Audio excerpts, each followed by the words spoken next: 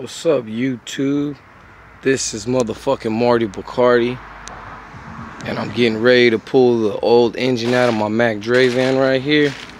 As you can see, everything is all disconnected. Ready to hook up the engine hoist and pull it out. Van's been sitting for over two years, but it's still pretty clean in the inside. So, you know, it's all root beer brown.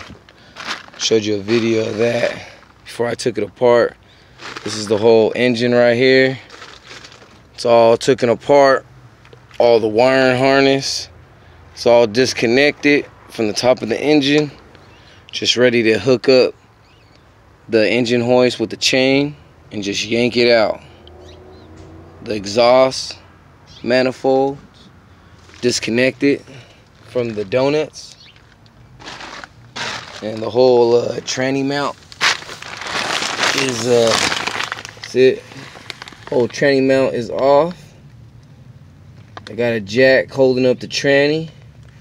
Right now I'm probably gonna disconnect the uh, drive line back there and then pull the drive line out. And then probably drain all the oil out of the tranny but it's getting ready to get pulled out. So this is just a video to show you that everything's all disconnected. And uh, we're ready to get my engine hoist pull it out. That's my Mac Dre van right there. It's been sitting for a while.